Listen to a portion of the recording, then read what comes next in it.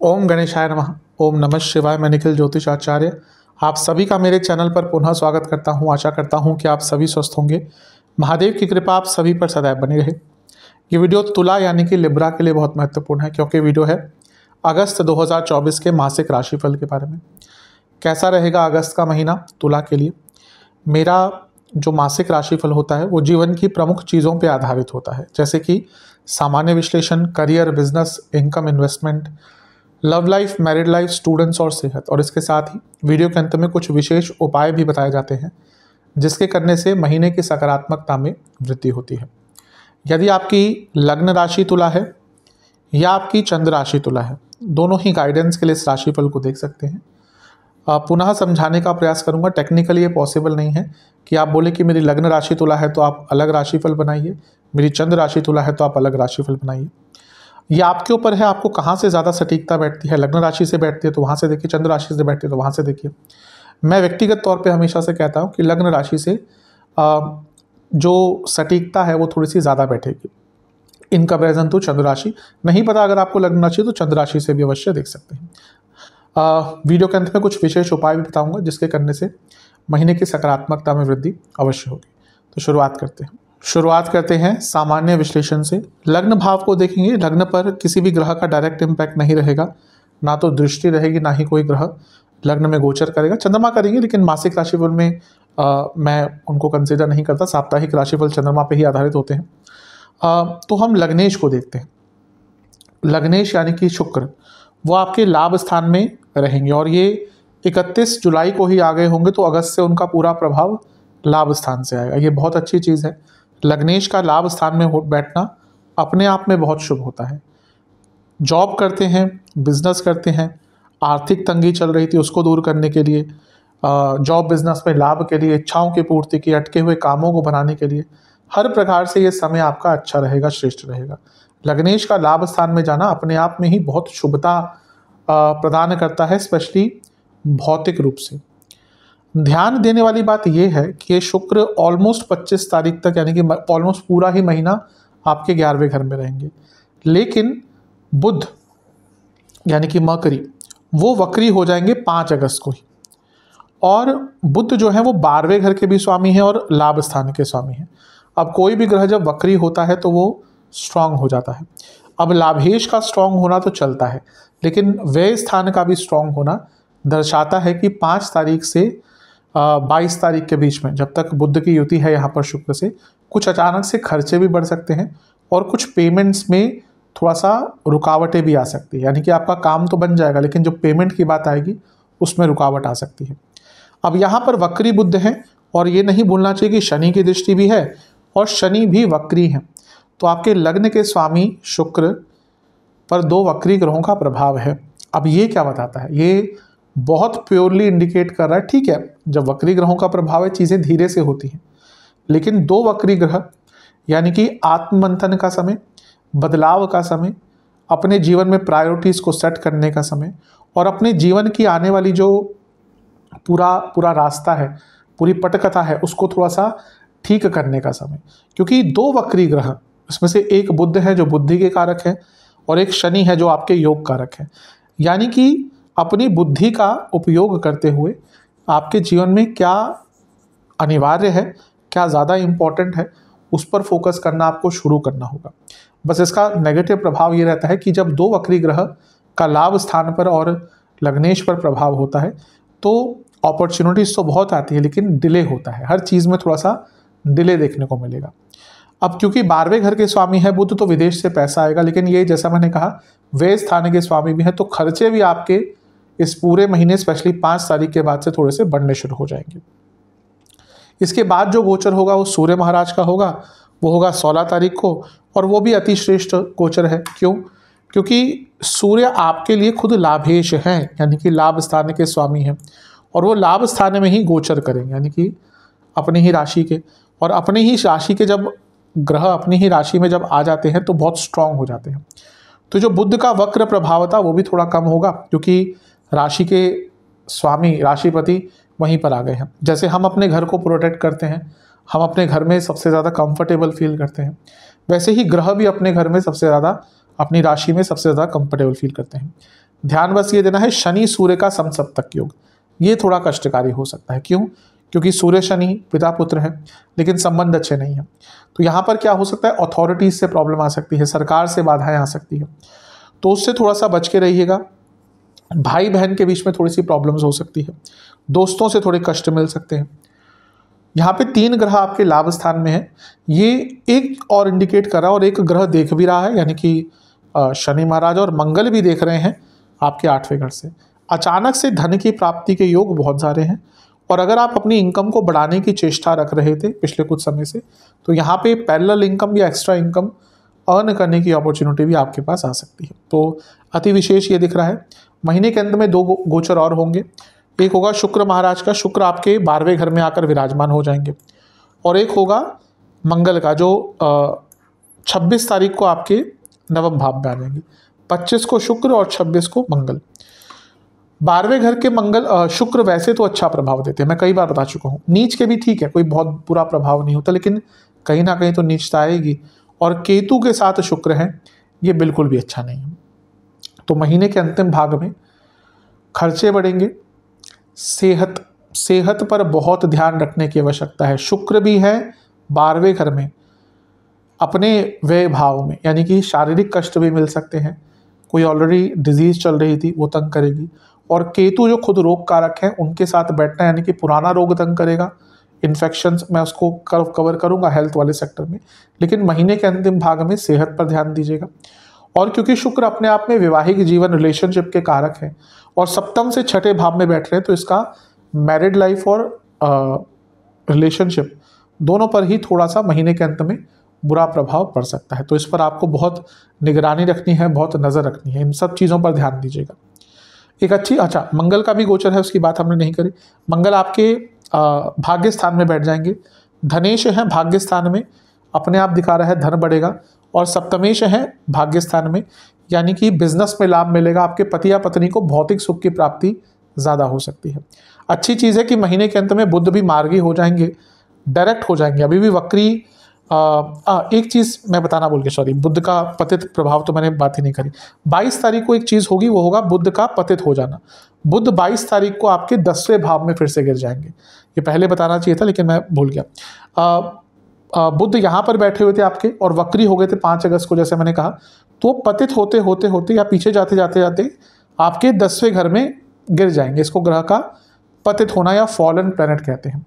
ये होगा 22 अगस्त को। अब यहाँ पर बहुत केयरफुल रहना है किन लोगों को, जो लोग जॉब करते हैं। कारण क्या है कि दसवें भाव में आ रहे हैं बुद्ध और पतित ग्रह, यानी कि फॉलन प्लैनेट कार्य क्षेत्र में या जिस भी भाव में आता है, उससे संबंधित अनएक्सपेक्टेड रिज़ल्ट दे सकता है। अब क्योंकि वो आपके नवम भाव के स्वामी हैं और क्योंकि बारहवें घर के स्वामी हैं, ये अच्छा क्या रिज़ल्ट दे सकता है? जो लोग जॉब चेंज करने का विचार कर रहे थे या डिपार्टमेंटल चेंज का विचार कर रहे थे, उनको यहाँ पर महीने के अंत में कुछ रिज़ल्ट मिल सकता है। लेकिन जिनकी अच्छी खासी जॉब चल रही थी, और अगर दशा अंतरशा थोड़ी अच्छी नहीं चल रही तो इस टाइम उनके जॉब में प्रॉब्लम्स आ सकती है। अगर कंपनी में ले वगैरह बहुत चल रहे हैं तो इवन जॉब जाने तक की नौबत आ सकती है। तो आपको 22 अगस्त के बाद से अपने कार्य क्षेत्र में बहुत ज़्यादा केयरफुल रहना है। अब ये अच्छा है कि बुद्ध यहाँ पर करीबन एक हफ़्ते के लिए, यानी कि उनतीस तारीख तक ही मार वक्री रहेंगे। पतित हो, पतित तो रहेंगे उसके बाद भी, लेकिन मार्गी हो जाएँगे, यानी कि सीधा चलना शुरू हो जाएँगे। अब जैसे पाँच अगस्त को उल्टा चलना शुरू हुए और बाईस तारीख तक तारीख तक आते आते पीछे गिर गए, अब उनतीस तारीख से वो सीधा चलना शुरू हो जाएँगे। तो जो महीने का बाईस तारीख से मान के अंतिम समय तक का जो कालखंड है, इसमें आपको अपने कार्य क्षेत्र में बहुत केयरफुल रहना है। विशेष प्रिडिक्शंस ये महीना, जैसे मैंने कहा अपने आप पर रिफ्लेक्ट करने का मौका मिलेगा। आत्ममंथन का बहुत अच्छा महीना है। थोड़ा सा रिलैक्स रहिएगा। अपने आप को ब्रेक दीजिएगा। मेंटली फिजिकली दोनों के लिए ही आवश्यक है। अंडरस्टैंडिंग बढ़ेगी कई चीज़ों को लेकर। ऐसा लग रहा है कि आप कुछ सामाजिक कार्य करना चाह रहे हैं, कुछ चैरिटेबल कार्य करना चाह रहे हैं बहुत लंबे टाइम से, लेकिन कर नहीं पा रहे, बस सोचे जा रहे हैं। तो कुछ भी ऐसा करने का आपके मन में था तो अवश्य उस चीज़ को कीजिएगा। उससे एक आत्मिक तौर पर, मानसिक तौर पर इमोशनल लेवल पर आपको खुशियाँ मिलती हैं। अपने दिल में जो आपका आ रहा है, कोई इच्छा है आपकी, कोई हॉबी है आपकी कोई इच्छा नहीं पूरी हो पा रही, आपका मन जो है, वो चीज़ें इस महीने अवश्य पूर्ण करने की कोशिश कीजिएगा। किसी पर भी गलती से भी जजमेंटल कमेंट्स मत पास कीजिएगा। धन अचानक से कई बार आएगा, जैसे मैंने कहा, उसका सदुपयोग कीजिएगा, अपने एंटरटेनमेंट के लिए, अपने इमोशनल हैप्पीनेस के लिए भी उसको यूज़ कीजिएगा। ये महीना इस प्रकार का है कि जहाँ पर आपको बहुत कुछ नया स्टार्ट करने के आइडियाज़ आएँगे फिर भी क्योंकि वक्री ग्रहों का बहुत प्रभाव है मे बी वो इम्प्लीमेंट ना हो पाए लेकिन आइडियाज़ बहुत आपको आएँगे। और इसके साथ ही मैं कहूँगा कि अपने जीवन का सौंदर्यकरण कीजिए। उसको मैं आ, फ़िज़िकल लेवल पर नहीं कहूँगा अपने विचारों को थोड़ा सा सुंदर करने का सुंदर बनाने का ये महीना बहुत अच्छा है। कुछ नेगेटिव चीज़ें जिनसे बचना है जीवन को बहुत कॉम्प्लेक्स नहीं करना सरलतम चीज़ों से अपने जीवन को संपन्न कीजिए। ओवर एक्साइटमेंट नहीं करनी किसी के प्रति ओवर फ्रेंडली नहीं रहना। क्योंकि अगर आप किसी के प्रति ओवर फ्रेंडली रहे भले आपके भाव अच्छे हों लेकिन वहाँ से आ, इस चीज़ को गलत समझा जाएगा। कभी भी आर्ग्यूमेंट्स होने वाली हो तो अपने आप को दूर रखिएगा क्योंकि इस महीने बहुत संभावना है कि कुछ लोग आपको जानबूझकर तंग करेंगे। और उसमें होगा क्या कि जैसे मैंने कहा ये आत्ममंथन का समय है। आपका फिर ध्यान हट जाएगा वहाँ से जब हमारी लड़ाई होती है किसी से बहस होती है तो वो चीज़ हमारे मन मस्तिष्क पर बहुत टाइम तक असर करती है। फिर उससे हमारी क्रिएटिविटी प्रोडक्टिविटी हर चीज़ पर असर पड़ता है। स्पेशली तुला वाले पर जो थोड़े से हारमोनियस नेचर वाले होते हैं, इनको चाहिए होता है कि सब इनसे खुश रहें सब कुछ बहुत संपन्न रहे। तो यहाँ पर किसी के प्रोवोक करने पर आपको प्रोवोक नहीं होना। ओवरऑल देखा जाए, महीना बुरा नहीं है, लेकिन जो भी मैंने कुछ नेगेटिव चीज़ें कही हैं, ध्यान दीजिएगा। ते हैं करियर की तरफ़, जो लोग जॉब करते हैं। ठीक ठाक महीना है बुद्ध क्योंकि वक्री होकर पतित होकर आपके दसवें भाव में ही आ जाएँगे महीने के अंत में तो थोड़ा केयरफुल रहने की आवश्यकता है। आ, पहले तो 16 तारीख तक सूर्य आपके दसवें भाव में रहेंगे जो अच्छा है। दिग्बली हैं लाभ स्थान के स्वामी हैं। संभावना बन जाती है कि प्रमोशन आदि के योग आ, आपके बन सकते हैं। अगर इस टाइम पे अब रिज़ल्ट चलता है आपका तो 16 तारीख से पहले आ, अगर उससे पहले ये सारा सारी प्रक्रिया स्टार्ट हो जाती है तो आपके प्रमोशन के योग बहुत स्ट्रांग बन रहे हैं। दसवें भाव से ग्यारहवें में, यानी कि अष्टम में, मंगल है, जो धन स्थान के स्वामी हैं। तो यहाँ पर धन बढ़ने की जो चांसेस हैं कार्य क्षेत्र में, वो भी बढ़ सकते हैं। हो सकता है कोई आपको एक्स्ट्रा काम मिल जाए, कोई ऐसा काम मिल जाए जिसपे अच्छा इंसेंटिव है। आजकल कई कंपनीज़ में होता है कि परफॉर्मेंस बेस्ड इंसेंटिव्स मिलते हैं। तो यहाँ पर आपको बहुत प्रकार के लाभ मिल सकते हैं। ध्यान कब देना है? महीने के अंत में। जैसा मैंने एक्सप्लेन किया था सामान्य विश्लेषण में कि बुद्ध पाँच तारीख को वक्री हो जाएँगे और वो वापस आते आते आते आते 22 तारीख को 22 अगस्त को यहाँ पर गिर जाएँगे दसवें भाव में। और दसवां भाव क्या है? करियर का भाव। तब तक सूर्य यहाँ पर आ चुके होंगे तो अकेले बुद्ध ही होंगे। तो महीने के जो अंतिम दस दिन है, यहाँ पर बहुत केयरफुल रहना है। पतित ग्रह हैं फॉलन प्लैनेट अनएक्सप्लेन रिज़ल्ट देते हैं कभी कभी तो अचानक से जॉब में प्रॉब्लम्स बाधाएँ आ सकती हैं। जैसा मैंने शुरू में कहा था सामान्य विश्लेषण में कि अच्छा उनके लिए हो सकता है जो जॉब चेंज का विचार कर रहे थे। क्योंकि पतित ग्रह कभी कभी वापस आता है उस कार्य को पूर्ण करने के लिए जो नहीं, पहले रिज़ल्ट जिनका मिल पाया। तो जॉब चेंज का प्रयास कर रहे थे ट्रांसफर्स का प्रयास कर रहे थे, उनके लिए अच्छा रहेगा। लेकिन जिनकी दशांत दशा थोड़ी ख़राब चल रही है। उनको महीने के अंतिम भाग में बहुत केयरफुल रहने की आवश्यकता है। गलतियाँ हो सकती हैं सिली मिस्टेक से लेकर लेकर बड़ी मिस्टेक्स तक हो सकती हैं। और अगर आपके ऑफ़िस में ले चल रहे हैं, बहुत केयरफुल रहेगा क्योंकि महीने का अंतिम भाग उसके लिए, बल्कि उन लोगों के लिए बहुत अच्छा बहुत श्रेष्ठ नहीं दिख रहा। तो थोड़ा सा केयरफुल रहने की आवश्यकता अवश्य आपको है। 26 तारीख को मंगल भी आपके नवम भाव में आ जाएँगे, जो बताता है कि महीने के अंत में आपके अपने बॉसेस से भी झगड़े हो सकते हैं। तो ये महीना शुरुआत भले ही अच्छी लेकर आ रहा हो, लेकिन अंत थोड़ा सा सेंसिटिव है। विशेष प्रडिक्शंस थोड़ा सा नियमित तरीके से काम कीजिएगा। पैसे बढ़ने की संभावना पूरी है, लेकिन षड्यंत्र हो सकता है आपके खिलाफ। मतलब कि एक व्यक्ति नहीं, मिलकर कुछ लोग आपके खिलाफ कुछ करने की साजिश रख सकते हैं स्पेशली अगर आप बड़ी पोस्ट पे हैं तो। मेंटली काफ़ी एग्जॉस्टेड रहेंगे इस महीने। तो अपने आप को मेंटली रिलैक्स रखिएगा। अपने कलीग्स पर ज़्यादा भरोसा नहीं करना। और सबसे इंपॉर्टेंट चीज़ है कि एक फ्लो रखना है अपने कार्य क्षेत्र में। जैसे मैंने कहा कि बुद्ध यहाँ पर आएँगे तो गलतियाँ होने की संभावना भी बढ़ जाती है। और वो गलतियाँ तभी होंगी जब आपने कार्यों को डिले करना शुरू कर दिया। क्योंकि कार्य डिले कर देंगे, फिर एक कैचिंग अप गेम खेलेंगे और उसके बाद फिर गलतियाँ होना शुरू हो जाएँगी। पुनः कहूँगा धन बढ़ने की संभावना है प्रमोशन की संभावना भी है, लेकिन वो सब महीने के मध्य भाग तक है या बीस तारीख तक मान के चलिए। उसके बाद का जो टाइम है वो थोड़ा सा सेंसिटिव है। हर चीज़ को अपने कंट्रोल में रखिएगा अपने स्किल्स पर भरोसा रखिएगा अपने ऊपर भरोसा रखिएगा। और थोड़ा सा आपको ध्यान ये भी देना है कि आपको आ, अपने आ, जो आपका एक एडमिनिस्ट्रेशन है मतलब कि आपका जो ऑर्गेनाइजिंग स्किल्स है अपने कार्य क्षेत्र में उस पर बहुत ध्यान देना पड़ेगा। किस प्रकार से आप चीज़ों को मैनेज करते हैं वो डिसाइड करेगा इस महीने कि आप किस प्रकार से वो सेंसिटिव टाइम जो होगा, उससे निकल कर आ पाएँगे। तो बहुत बुरा महीना तो नहीं कहूँगा, लेकिन अंतिम दस दिन थोड़े से सेंसिटिव है। बिज़नेस की तरफ़ चलते हैं। बिज़नेस के लिए महीना ठीक ठाक है सप्तम भाव पर नज़र डालें तो सप्तम में एक साइड राहु, एक साइड गुरु, ये तो बने रहेंगे, जो अपने आप में एक्सपेंशन के दोनों कारक हैं। और सप्तमेश यानी कि मंगल भी अष्टम में रहेंगे, जो चेंजेस दिखाता है। तो अगर आप अपने बिज़नेस में कुछ बड़े चेंजेस लाना चाहते थे तो उसके लिए महीना अच्छा है। मंगल गुरु के साथ होंगे जो सप्तम से बारहवें के स्वामी हैं और सप्तम से नवम के स्वामी हैं त्रिकोण के स्वामी। ये बता रहा है कि आपको हो सकता है इस महीने अपने बिज़नेस के लिए यात्राएँ करनी पड़े और अगर आप अपने बिज़नेस में आ, कुछ स्ट्रक्चरल चेंजेस लाना चाहते थे कुछ मशीनरी के चेंजेस लाना चाहते थे उसके लिए महीना बहुत अच्छा है और अगर डिसइन्वेस्टमेंट भी करना चाहते थे फॉर एग्ज़ाम्पल आपका कोई बिज़नेस है नहीं चल रहा था बहुत टाइम से आप सोच रहे थे कि इस बिज़नेस को बेच कर या कुछ पार्ट बेच कर उसका आप डिसइन्वेस्टमेंट द्वारा आगे बढ़ सके। तो उसके लिए भी महीना अच्छा है। इवन फंडिंग अगर आप प्राप्त करना चाहते थे उन सब चीज़ों के लिए भी महीना अच्छा ही दिख रहा है। Uh, मंगल जो है वो सप्तमेश भी हैं और आपके धन स्थान के स्वामी भी हैं और वो अष्टम में रहेंगे। यानी कि कभी कभी अचानक से धन प्राप्ति का आपका योग बनेगा। लेकिन आ, गुरु सप्तम से बारहवें के स्वामी भी हैं। यानी कि बिज़नेस में खर्चे ऑन द हायर साइड हमेशा इस महीने रहेंगे।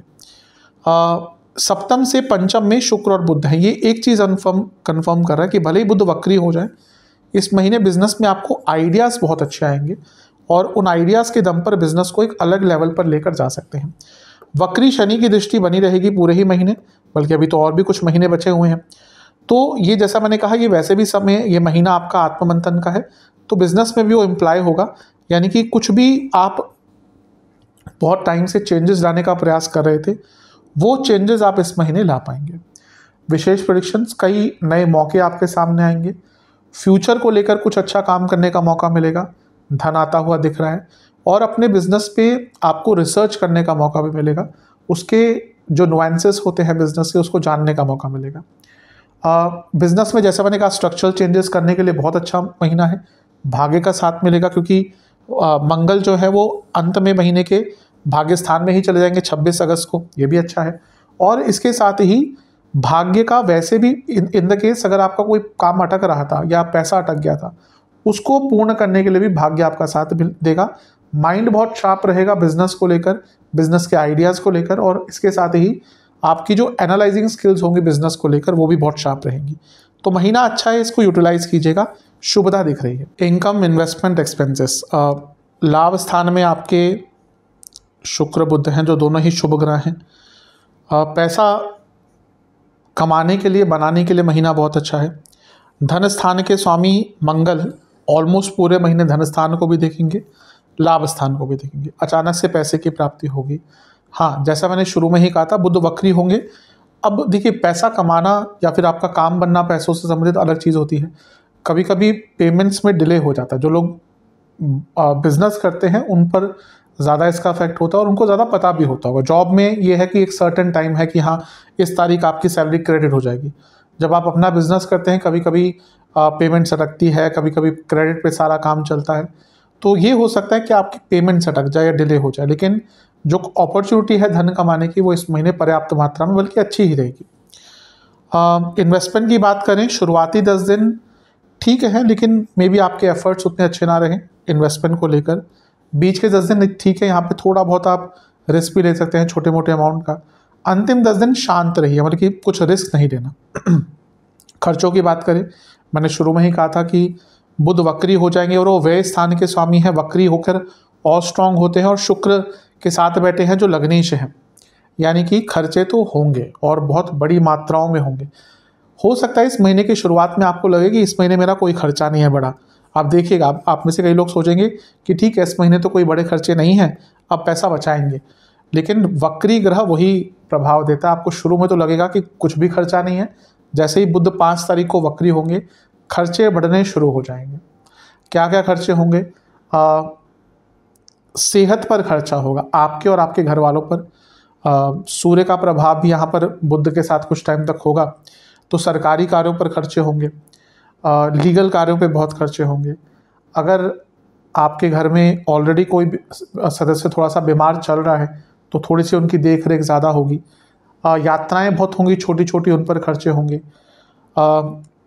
कई ऐसे खर्चे भी कर देंगे आप जो थोड़ा सा स्ट्रेस में आकर कुछ खरीद लेंगे या फिर थोड़ा सा एक्साइटेड होकर कुछ खरीद लेंगे। उन चीज़ों पर बहुत खर्चा होगा। बच्चों पर बहुत खर्चा होने वाला है, बच्चों की पढ़ाई पर और बाकी सारे कार्यों पर बहुत खर्चा होगा। और इसके साथ ही आप अपने परिवार के भरण पोषण के लिए भी या उनके कुछ महत्वपूर्ण कार्यों को पूर्ण करने के लिए भी इस महीने खर्चे ज़्यादा करने वाले। चलते हैं लव एंड रिलेशनशिप की तरफ़। नो कॉन्टैक्ट सिचुएशन हाँ संभावना है।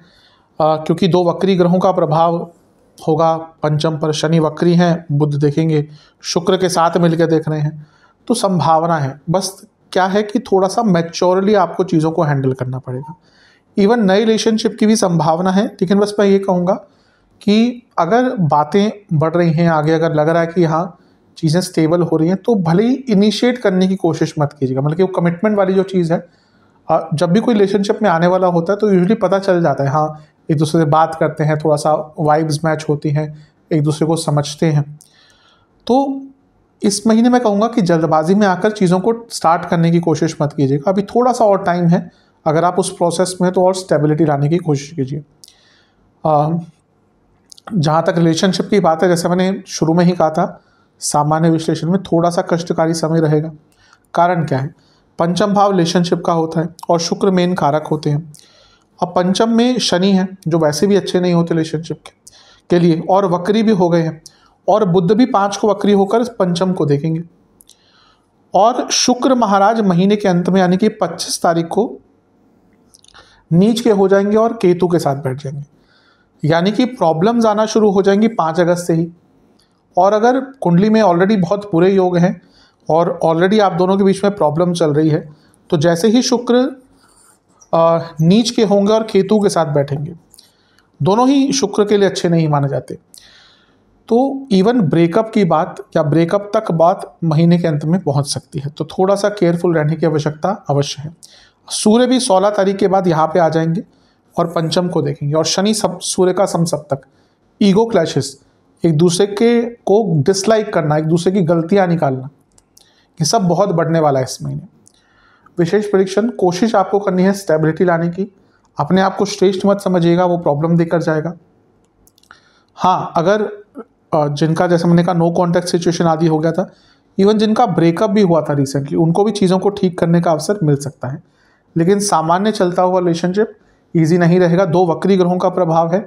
ऊपर से शुक्र भी, जैसे मैंने कहा, नीच के हो जाएँगे। केतु के साथ बैठना सेपरेशन दिखाता है एट एट सम लेवल जितना ऑर्गेनाइज रख सकते हैं रिलेशनशिप को, जितना सिंप्लीफाई कर सकते हैं रिलेशनशिप को, उतना अच्छा रहेगा। और एक दूसरे को समझने का प्रयास करना है।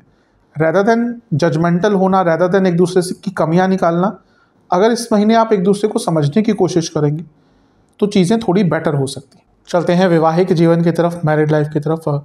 मिश्रित सा महीना है।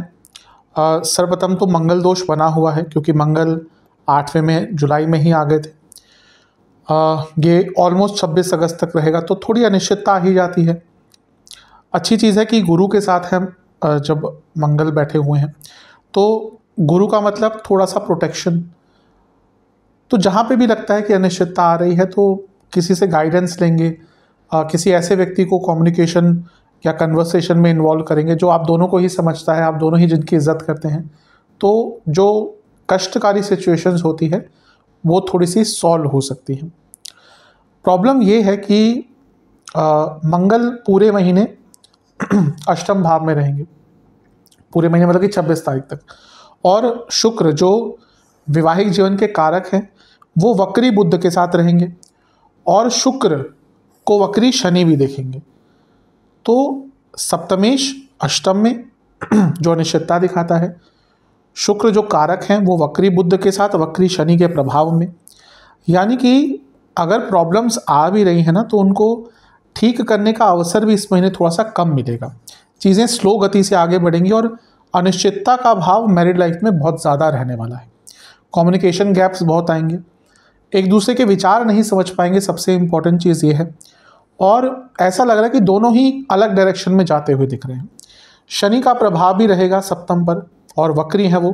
तो अब जिनकी दशा अंतरदशा बहुत अच्छी चल रही है, हो सकता है उनको थोड़ा सा मौका मिल जाए चीज़ों को ठीक करने का रिकवरी करने का। अदरवाइज़ ये महीना क्योंकि वक्री प्रभाव इतना है तो चीज़ें ठीक करने के अगर अवसर भी आते हैं तो उसको आप भुना नहीं पाएँगे, उसका उपयोग नहीं कर पाएँगे। मंगल मंगल दोष खत्म कर देंगे 26 तारीख को तो उसके बाद थोड़ी अनिश्चितता कम होगी। और बुद्ध भी क्योंकि सप्तम से पंचम से निकलकर 22 तारीख को यहाँ पर आ जाएँगे यानी कि दसवें घर में तो महीने के अंत में जाकर थोड़ी स्थिरता आ सकती है। अदरवाइज़ महीना अनसर्टेनिटी भरा है। विशेष प्रिडिक्शन रिलैक्स रहिएगा ज़्यादा रिएक्टिव नहीं रहना। आ, आपको अपनी सीमा पता होनी चाहिए कि कहाँ तक बोलना है कहाँ नहीं बोलना। कुछ अच्छे मोमेंट्स आते हैं तो उनको होल्ड करना है। और जैसे मैंने कहा हीलिंग के लिए, चीज़ों को ठीक करने के लिए महीना बहुत श्रेष्ठ नहीं है। लेकिन अगर कुछ भी ऐसे मौके आते हैं, या किसी के थ्रू आते हैं, बच्चे हैं अगर आपके तो उनके थ्रू अगर कुछ अच्छा मौका आता है साथ में रहने का टाइम बिताने का, घर के बड़ों के कारण मिलता है तो उस मोमेंट को, उस अच्छे समय को और बढ़ाइएगा। तो अनसर्टिनिटी भरा महीना अवश्य दिख रहा है मैरिड लाइफ के लिए। स्टूडेंट्स की तरफ़ चलते हैं। जहाँ तक स्टूडेंट्स की बात है एग्ज़ाम से शुरू करेंगे। शुरुआती दस दिन अच्छे हैं। बीच के दस दिन भी बहुत अच्छे हैं, लेकिन थोड़ा सा ओवर कॉन्फिडेंस अंतिम दस दिन हाँ यहाँ पे थोड़ी सी थोड़ी सी नेगेटिविटी ज़्यादा है मतलब कि चीज़ें आपके विरुद्ध जा सकती हैं मे भी भाग्य का उतना साथ ना मिले। ओवरऑल स्टूडेंट की बात करें, देखिए क्या है कि पंचम में शनि वक्री हैं, पंचम भाव स्टूडेंट्स का होता है, और बुद्ध भी वक्री हो जाएँगे। तो दो वक्री ग्रहों का प्रभाव एक अनिश्चितता क्रिएट करता है और चीज़ों को डिले करता है। व्यक्ति अपने आप को लेकर थोड़ा सा अंडर कॉन्फिडेंट हो जाता है। तो इस महीने मानसिक रूप से कष्ट ज़्यादा रहेंगे और अपने सेल्फ कॉन्फिडेंस को लेकर ही प्रॉब्लम ज़्यादा आपको दिख रही है। और बुद्ध का वक्री होना जो स्टूडेंट के कारक हैं, इसलिए इंपॉर्टेंस बहुत दी जाती है जब स्टूडेंट्स की बात करते हैं। तो बुद्ध का वक्री होना, शुक्र के साथ होना, यानी कि ध्यान भटकना और पंचम वो देखता है कि रिटेंशन पावर एकाग्रता एनालाइजिंग स्किल्स स्टूडेंट्स के लिए स्पेशली हर चीज़ में प्रॉब्लम आ सकती है। तो इस पर ध्यान दीजिएगा विशेष प्रोडिक्शन मेरी तरफ़ से। अपने माइंड को प्योरीफाई रखिएगा एडिक्शन से और डिस्ट्रैक्शन से दूर रहने की कोशिश कीजिएगा। मैं जानता हूँ कहना आसान होता है लेकिन करना बहुत मुश्किल होता है स्पेशली स्टूडेंट्स की एज में। आ, दूसरा कोई हॉबी पर ध्यान दीजिएगा जिससे आप थोड़ा सा बुरी आदतों से बुरी चीज़ों से दूर रहें। अपनी ऊर्जा को सही डायरेक्शन में लगाना है। आ, कुछ शास्त्रीय ज्ञान कुछ धार्मिक ज्ञान वो लेने की कोशिश कीजिएगा। उससे भी मन एकाग्रता की तरफ़ जाता है, सात्विकता व्यक्ति के जीवन में आती है। और सबसे इंपॉर्टेंट चीज़ है कि अपने जीवन को सिंप्लीफाई कीजिएगा। सेहत सेहत की बात करते हैं। जहाँ तक सेहत की बात है, मैं एक ही चीज़ कहूँगा कि थोड़ा सा केयरफुल रहने की आवश्यकता है। क्यों? क्योंकि लग्नेश शुक्र बुद्ध के साथ होंगे, जो खुद बारहवें घर के स्वामी हैं, वक्री हो जाएँगे। और सेहत के लिए भी बुद्ध बहुत अच्छे नहीं माने जाते। और महीने के अंत में यानी कि 25 को भी शुक्र बारहवें घर में आ जाएँगे और केतु के साथ बैठ जाएँगे।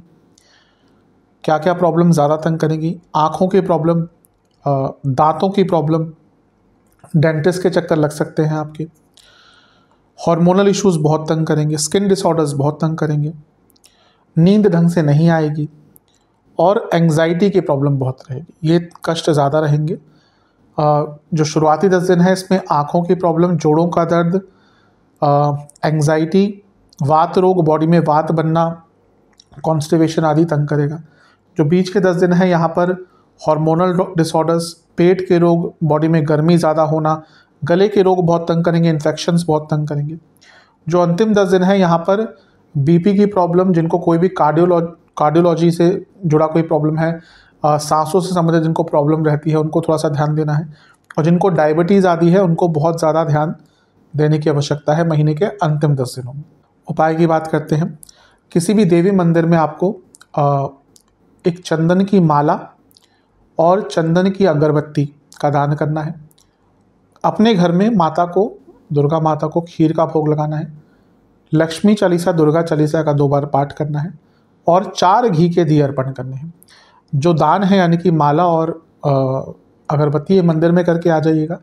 बाकी अपने घर में कर सकते हैं। जो लोग कहते हैं हम विदेश में हैं, आप किसी के थ्रू ये चीज़ करवा सकते हैं। अगर आपका कोई रिलेटिव घर इंडिया में है यूजली बाहर अगर कई ऐसे देश हैं जहाँ पे मंदिर होते हैं, अगर ऐसी जगह पे जहाँ पे बिल्कुल मंदिर नहीं है तो आप इंडिया में किसी के थ्रू ये करवा सकते हैं। आशा करता हूँ वीडियो काम आएगा, चैनल पर नए हैं, सब्सक्राइब कीजिए, वीडियो को लाइक कीजिए। मिलता हूँ अगली वीडियो में, तब तक के लिए ओम नमस्कार